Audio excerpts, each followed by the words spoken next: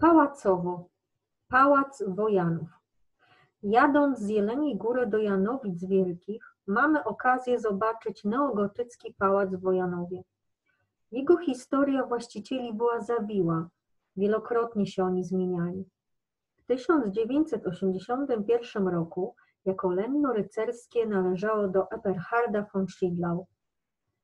Przechodził on w posiadanie Hans von Zedlitz z Hagotsów, a w 1839 roku księżna Luiza Niderlandzka otrzymała od swojego ojca króla Prus Fryderyka Wilhelma III.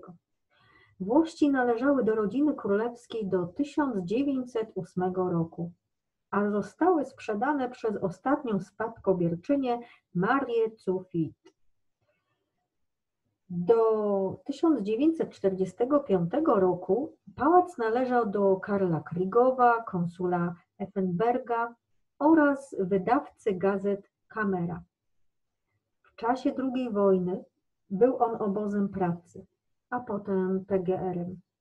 Obecnie bardziej luksusowe zadanie jako kompleks hotelowo-konferencyjny.